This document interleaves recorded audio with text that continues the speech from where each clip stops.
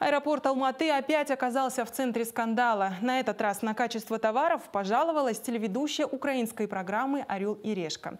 Она купила в зале прилетов черную икру, а по приезду домой обнаружила в банке плесень. Разочарованная покупкой Регина Подоренко опубликовала в сети видеопретензию. Как на это отреагировал магазин? И вернут ли гости Казахстана деньги? Узнавал Тимур Ермашев.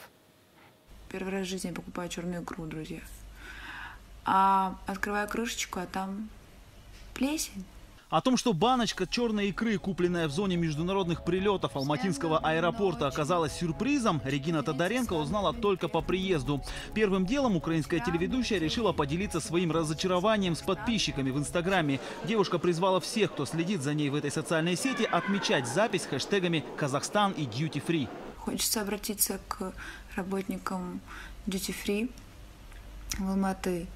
Как вы допускаете такой товар с плесенью?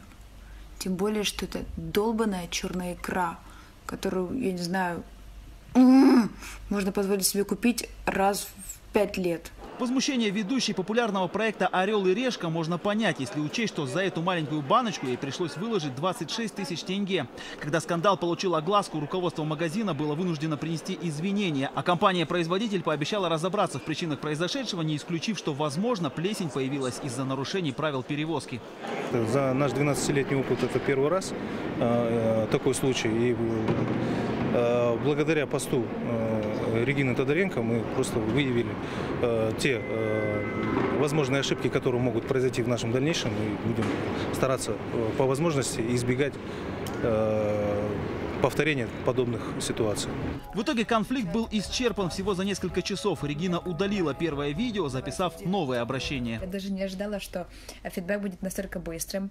А, благодарю за оперативность представителей магазина в аэропорту Алматы, которые отреагировали очень быстро.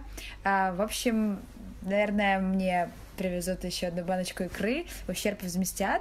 Как известно, это уже не первый скандал, связанный с торговыми точками и кафе, расположенными на территории Алматинской воздушной гавани. Ранее пользователи социальных сетей не раз выражали свое возмущение необоснованно высокими ценами и низким качеством подаваемой еды. А в преддверии универсиады эти вопросы становятся еще более актуальными. Тимур Ермашев, Рената Булхаиров, Информбюро, 31 канал.